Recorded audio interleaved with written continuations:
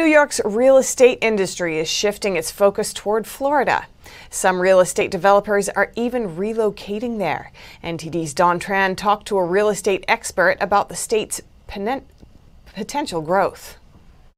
Top developers in New York's real estate scene are showing some interest in Florida. Companies including Time Century Holdings and JDS Development Group have already set up Miami real estate projects. The developers are responding to a huge trend. People are moving to Florida. Peter Gray, president of the Pyramid Real Estate Group, said Florida is widely attractive thanks to the low cost of living and warm weather. He added it's because of the high quality sports, education, and arts and culture scene. These are great opportunities, not just for residents, people living there, but it means that we've got a skilled labor force in Florida, which is attractive to companies.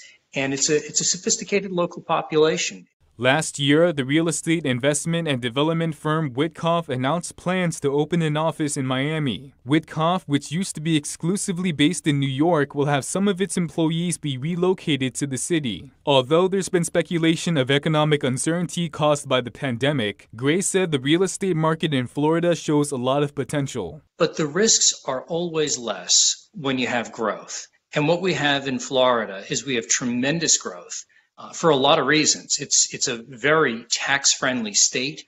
It's it's like a tropical paradise living there, and uh, there's a lot of other reasons why people want to be there. But it is growing very rapidly. So for a developer, there's less risk in Florida than other places.